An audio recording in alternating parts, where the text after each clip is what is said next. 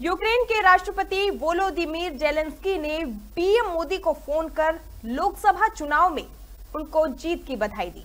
इसके बाद उन्होंने 15 से 16 जून को स्विट्जरलैंड में हुए और होने वाले शांति सम्मेलन में भारत की भागीदारी की अपील की।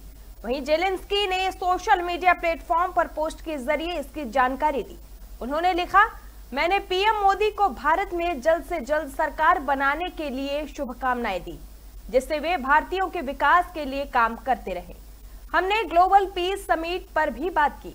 मुझे उम्मीद है कि भारत इसमें ज़रूर शामिल होगा। वहीं इसके अलावा जेलेंस्की ने पीएम मोदी को यूक्रेन का न्योता भी दिया। जेलेंस्की के बधाई संदेश पर पीएम मोदी ने उनका शुक्रिया अदा किया। वहीं सोशल मीडिया पर पोस्ट में मोदी ने कहा कि राष्ट्रपति जेलेंस्की से बात करके खुशी हुई। मैंने आम चुनाव में एनडीए की ऐतिहासिक जीत पर बधाई के लिए उन्हें धन्यवाद कहा है। हम दोनों ने भारत और यूक्रेन की साझेदारी को मज़बूत करने पर भी सहमति जताई है।